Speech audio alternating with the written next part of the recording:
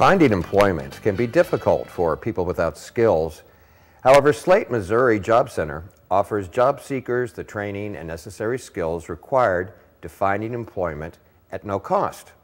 Joining us now is Program Manager Rebecca V. Ritter. Hi, Rebecca. Welcome to the program. Thank you. Thanks for having me. What do we mean by people without skills? You know, when I first hear that, I think, well, everybody's got some kind of skills. So maybe kind of define what you mean by that a little bit. Sure. And um, like you just said, some people have a lot of talents, a lot of skills, but they don't know how to translate those skills into a resume or how to properly discuss those skills in an interview.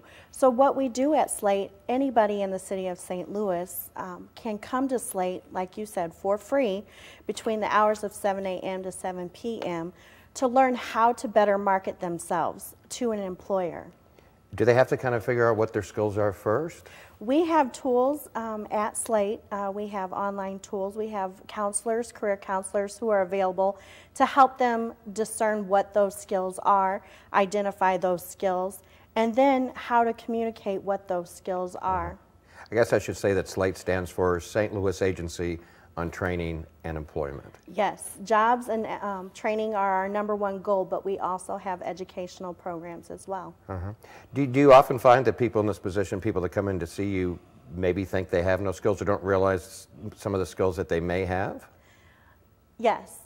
And a lot of times they say, I just need a job. And then we say, well, no, because we could hand you a job. But if it's not something that you like doing or that you're very good at, you're not going to keep that job very long. Uh-huh. So, what we do is we help them really hone in on what it is that you are capable of doing so that long term career is what we help you access. Can you kind of give me a, just a general idea how that works? I come in and, um, I, hey, I need a job, and you say, no, Steve, you've got a skill. How do I figure out what my skill is? Well, okay, so you come into our center, you have a photo ID, you come through our welcome center, and you, you know, always, always there's, you know, the part, part where you have to put your information into our system.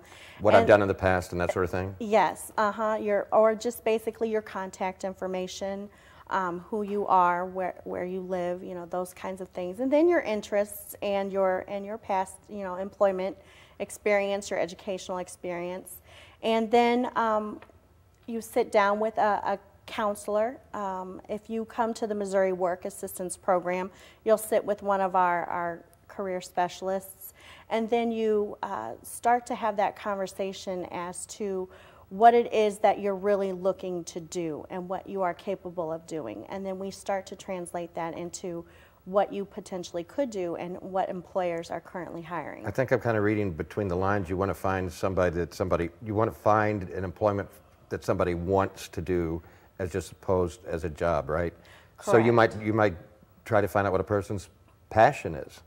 Yes, we we are very much focused on what passion lies in, with each individual because, like I said, I, we can give jobs all day long, but when you find something and help people reach their fullest potential, that's when they really start to bloom and grow as in an individual. And that's what we're about, helping individuals, connecting real people to real jobs. Uh-huh. And most of us don't have the perfect job, but I think everybody kind of deserves to at least want to go to work every day. I mean, not avoid it, they, they want to go there. Right, exactly.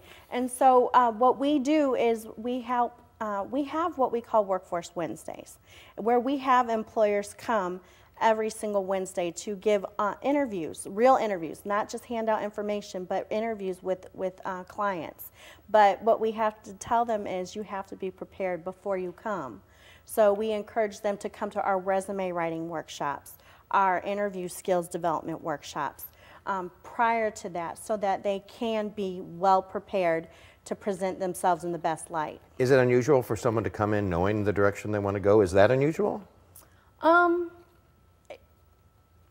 I want to say yes and no because we have different levels of clients that come through our doors. We have the clients that come in that have never worked before in their life. That's our younger population.